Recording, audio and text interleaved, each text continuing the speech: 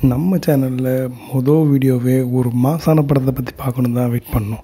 So அதுக்கேற்ற மாதிரி நம்ம பாண்டு நடித்த நோ டைம் டு டை படத்தோட செகண்ட் ட்ரெய்லர் இப்போ ரிலீஸ் ஆகிருக்கு ஸோ இது உங்கள் என்ஜி ட்ரெய்லர் பாக்ஸ் வாங்க வீடியோக்குள்ளே போகலாம்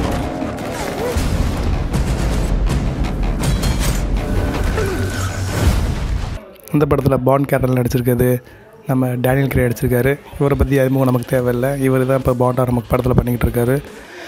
கடந்த ரெண்டாயிரத்தி ஆறில் ரிலீஸ் ஆன கேஷ்னோ ராயிலிருந்து டேனியல் கிரே தான் வந்து பாண்டா செலெக்ஷன் ஆகி பண்ணிக்கிட்டு இருக்காரு ஸோ இந்த படத்துடைய ஹீரோயின் பார்த்தீங்கன்னா லீ சேடு இவங்க தான் வந்து ஹீரோயின் கேரக்டர் பண்ணியிருக்காங்க. இதுக்கு முன்னாடி வந்த பாண்டு படமான ஸ்பெக்டார் படத்துலேயும் இவங்க தான் ஹீரோயினாக நடிச்சிருக்காங்க. அது மட்டும் இல்லைங்க மிஷின் இம்பாசிபிள் கோஸ்ட் ப்ரோட்டோகால் படத்துலையும் இவங்க ஒரு நெகட்டிவ் கேரக்டரில் பண்ணியிருக்காங்க. ஸோ அது மட்டும் இல்லாமல் லீட் கேரக்டரில் ரெண்டு பேர் பண்ணியிருக்காங்க. அவங்க யாருன்னு பார்த்தீங்கன்னா லிசானா லிஞ்ச் ஸோ இவங்க வந்து ஒரு கேரக்டராக பண்ணியிருக்காங்க. ஸோ இவங்க யாருன்னு பார்த்தீங்கன்னா கேப்டன் மார்வல் படத்தில் ஹீரோயினோட ஃப்ரெண்டாக நடிச்சிருந்தாங்க. இன்னொருத்தவங்க அனாடி ஆர்ம்ஸ்ன்றவங்க தான் இன்னொரு கேரக்டரில் பண்ணியிருக்காங்க. ஸோ இவங்க யாருன்னு பார்த்தீங்கன்னா நாக் நாக்ன்ற படத்தில் ஒரு நெகட்டிவ் கேரக்டராக பண்ணியிருக்காங்க. இந்த படம் ஹாரர் அண்ட் த்ரில்லர் ரொம்ப ஃபேமஸான மூவியாக தான் இருந்துச்சு. படத்தோட டேரக்டர் பார்த்தீங்கன்னா கேரி ஜோயி ஃபுகோ நாகா இவங்க தான் வந்து இந்த படத்தோட டேரக்டராக இருக்கார். ஸோ இவர் யாருன்னு பார்த்தீங்கன்னா ரொம்ப ஃபேமஸான அண்ட் ஹாரர் த்ரில்லர் மூவியாக வந்த ஐடி இட்டுன்னு ஒரு படத்தோடைய ஸ்க்ரீன் ப்ளே இவர் தான் எழுதியிருக்காரு. ஸோ இவர் படத்து இவர் எடுத்த அந்த ஸ்க்ரீன் ப்ளே வந்து இட் சாப்டர் ரொம்ப ரொம்ப ஃபேமஸாக இருந்துச்சு. அது சாப்டர் டூ ரிலீஸ் ஆகிருச்சு அடுத்து இப்போ சாப்டர் த்ரீக்கும் ஃபோக்கஸ் பண்ணி போயிட்டுருக்காங்க. ஸோ அதுக்கடுத்து இந்த படத்தோட மியூசிக் டைரக்டர் இவரை பற்றி கண்டிப்பாக நம்ம சொல்லி தான் ஆகணும். ஹேண்ட் ஜிம்மர் ஸோ இவர் யாருன்னு பார்த்தீங்கன்னா ஹாலிவுட்டோட இளையராஜானே சொல்லலாம். ஏன்னா இவர் மியூசிக் பண்ண மூவிஸ் எல்லாமே வந்து பயங்கர ஹிட்டாக தான் இருந்திருக்கு.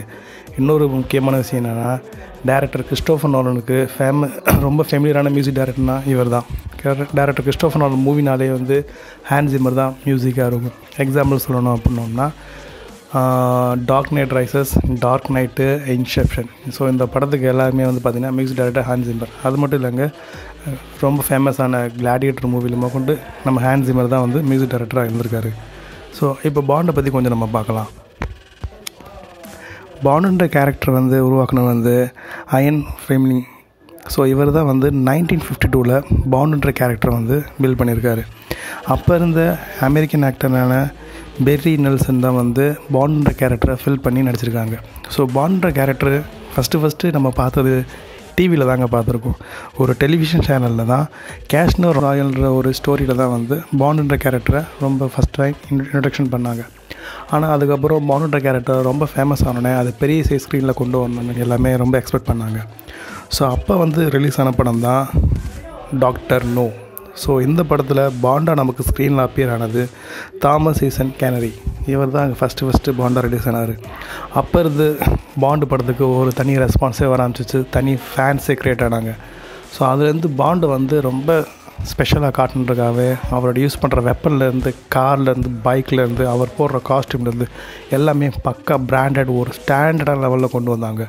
அவர் யூஸ் பண்ண கார்லாம் பார்த்திங்கன்னா இப்போ வரைக்கும் நம்ம சைஸில் ஃபேமஸாக இருக்க போகிற பிஎம்டபிள்யூ ஆடி பென்ஸ் இதெல்லாமே அவர் யூஸ் பண்ணியிருக்காரு அது மட்டும் இல்லைங்க இப்போ ரீசெண்டாக அவர் யூஸ் பண்ணியிருக்காரு ஆஸ்டின் மார்டின் யூஸ் பண்ணிகிட்ருக்காரு இன்க்ளூடிங் அவர் யூஸ் பண்ணுற ட்ரிங்க்ஸ் கூட பாண்ட் நாட் நாட் செவன் சொல்லிட்டு ஒரு காக்டெயில் புக்காக கூட ரிலீஸ் பண்ணியிருக்காங்க இப்போ ரீசெண்டாக வந்து பார்த்திங்கன்னா பாண்டுடைய ஃபேன்ஸ் கொஞ்சம் கம்மியாகிட்டே இருக்காங்க. ஏன் அப்படின்னோம்னா எப்போவுமே பாண்ட் வந்து அவர் ஷர்ட் கசங்காத மாதிரி தான் ஃபைட் சீக்வன்ஸ் எல்லாமே வச்சுருப்பாங்க.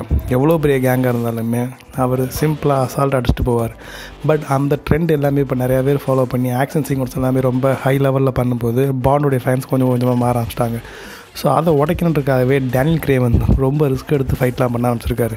அவருடைய ஃபைட் சீக்வன்ஸ் எல்லாமே பார்த்தீங்கன்னா ரொம்ப ரொம்ப ரிஸ்க்காக தான் இருக்கும். எல்லாமே வந்து ரியலாக அவரே பண்ணியிருக்க மாதிரி தான் இருக்குது அதனாலே வந்து டேனியல் கிரேக்கு ஒரு தனி ஃபேன்ஸ் கூட்டமே உருவாயிருக்காங்க.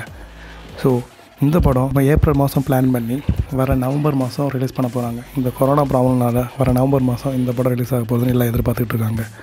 ஸோ எனிவே கொரோனா பிரச்சனை தீர்ந்துச்சுன்னா இந்த படத்தை தேட்டரில் கண்டிப்பாக எதிர்பார்க்கலாம். நானும் உங்களை மாதிரி வெயிட் பண்ணிக்கிட்டு இருக்கேன். ஸோ இதோட இந்த வீடியோ முடியுது. நெக்ஸ்ட்டு ஒரு நல்ல படத்தோட ட்ரெயிலரோட உங்களை வந்து சந்திக்கிறேன்.